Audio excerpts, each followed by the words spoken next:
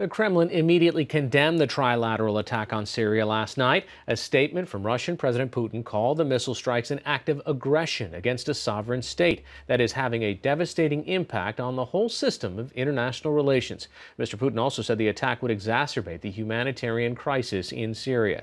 Joining me now to sort out what the Russian rhetoric means and what may come next is Kimberly Marten, a professor of political science at Barnard College and the director of the program on U.S. Russia relations at Columbia University's Harriman Institute. So, how are we to square the statements that we had from the Russian embassy in the U.S. last night, posted to their Facebook page, with what uh, President Putin is calling for, with the actual military actions that haven't happened? I think when we look at what's actually been happening on the ground, it's a cause to have uh, a lot of confidence that both sides are actually trying to tamp down the situation and make sure that it doesn't escalate beyond the current situation.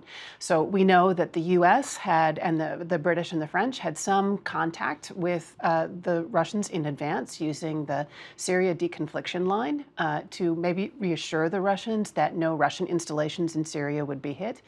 Uh, we know from the Russian side that they did not activate their own missile defense systems.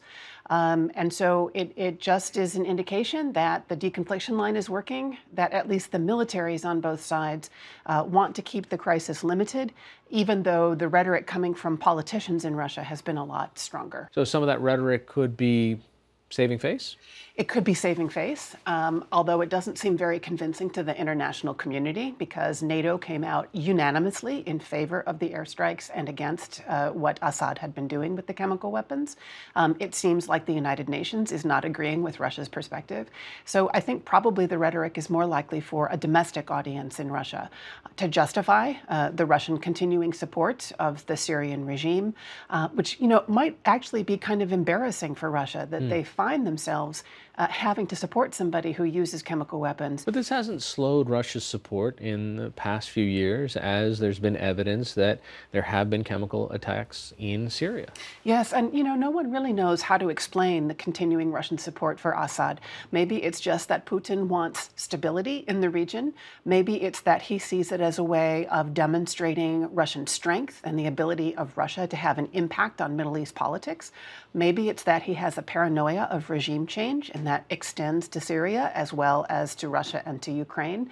It's also possible that he just sees the Assad family as being somebody who's been in the Russian leadership's patron client network for many decades, and, and therefore feels that by supporting Assad, he's sending a message to his supporters at home about how strong he is and how he can support people who are in his uh, patron client network. You know, the Iranian uh, leadership has called this a military crime, depends on what NATO says, what the UN says. I mean, are there any repercussions that Russia actually faces from continued support of Syria right now?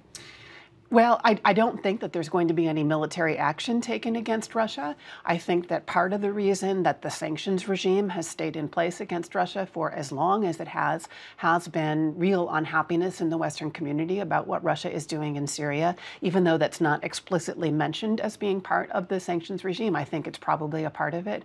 But, you know, there's a limit to the repercussions that Russia could face because there's just not that much that the Western community can do to harm Russia without getting involved in uh, direct military conflict, and I don't think anybody wants that. And what about the stability? You mentioned that in the region. Uh, the, what are the, Russia's core interests? Is it their access to military bases? Is it a kind of a launching point? Is it a strategic value to have the presence that they have in Syria? Well, it has some strategic value, but I think we have to remember that Russia hasn't demonstrated that currently its military has the projection capability to actually use those bases for much that's significant. So we've seen that the Russian military has performed quite well in the takeover of Crimea, in some of the things that have happened in eastern Ukraine where the Russian military has been involved.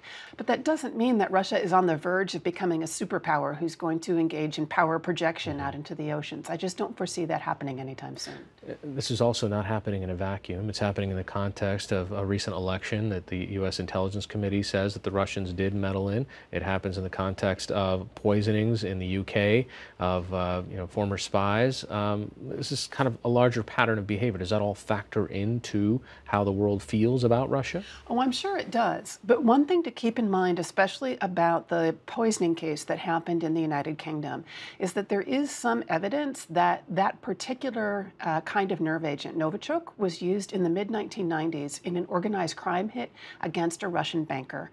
Um, and we don't know that for sure, but there's some evidence. There's a recent investigation that's continuing on that point. We know that the item was manufactured in Russia. That doesn't mean necessarily that it was Putin as an individual who ordered it.